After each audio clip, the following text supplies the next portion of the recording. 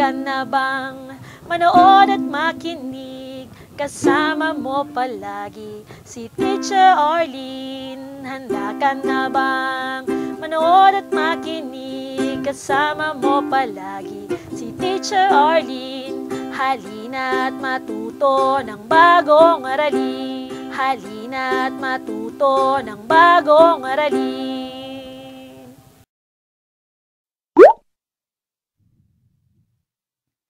Ang ating asignatura ngayon ay MAPE 1, Music 1. Unang markahan, Week 1. Ang ating aralin ay tunog at katahimikan o sound and silence sa musika. Ang araling ito ay naglalayong makilala mo ang mga bagay na nagbibigay ng mahina at malakas na tunog at ang kahalagahan ng mga tunog na ito. Tignan ang larawan ng dalawang kampanilya sa ibaba. Ito ay isang kampanilya. Ito ay nakakalika ng tunog.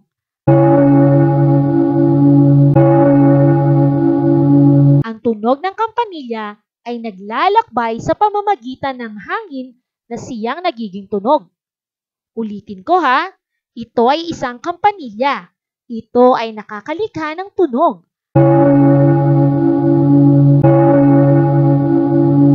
Ang tunog ng kampanilya ay naglalakbay sa pamamagitan ng hangin na siyang nagiging tunog. Narito naman ang isa pang kampanilya. Hindi ito gumagawa ng tunog. Ang tahimik ay nangangahulugang walang tunog. Narito ang isa pang kampanilya, hindi ito gumagawa ng tunog. Ang tahimik ay nangangahulugang walang tunog. Sa musika, may iba't ibang uri ng mga simbolo na may tunog at walang tunog. Ang mga simbolo na may tunog ay tinatawag na mga nota. May bilang na katumbas ang bawat nota. Ang mga simbolo na walang tunog ay tinatawag na pahinga. May bilang din ang bawat pahinga. Sa unang hanay ay ang mga nota, sa ikalawang hanay ay ang mga pahinga, at ikatlong hanay ay ang bilang ng kumpas ng bawat nota at pahinga. Pag-aaralan pa natin yan muli sa susunod nating mga aralin. Piliin sa mga larawan ang nagbibigay ng malakas na tunog. Isulat ang letra ng tamang sagot sa sagutang papel. Alin kaya rito ang mayroong malakas na tunog?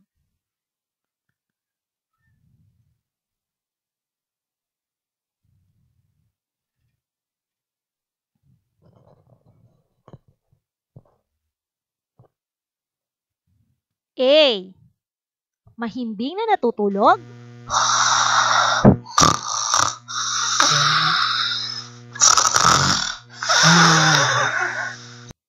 B. Huni ng ibon?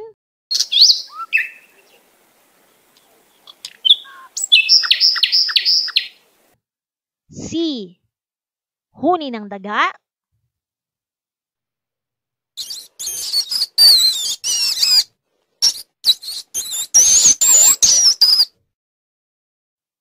D. Huni ng isda? E. Pagpitik ng mga daliri?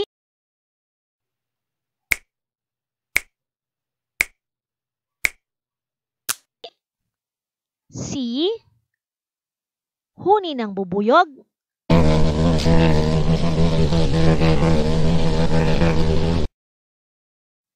G. Tambol.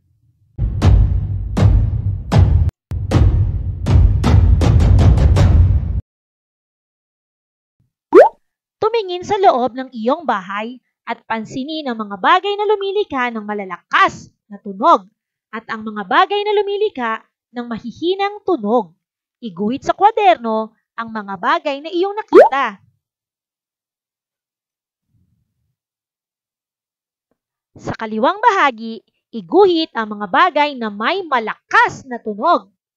Sa kanang bahagi naman ay ang mga bagay na may mahinang tunog.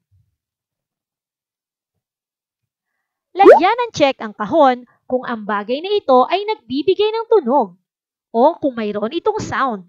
At X naman kung ito ay hindi nagbibigay ng tunog o kung ito ay silence. Gawin ito sa iyong kwaderno. Pagpitik ng mga daliri.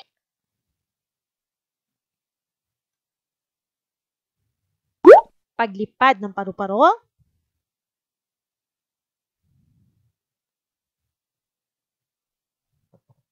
Nakaupong manika.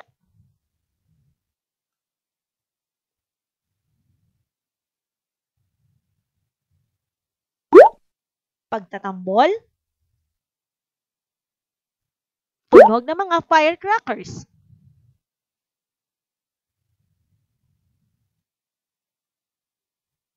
Binabati kita! Natapos na natin ang aralin para sa unang linggo.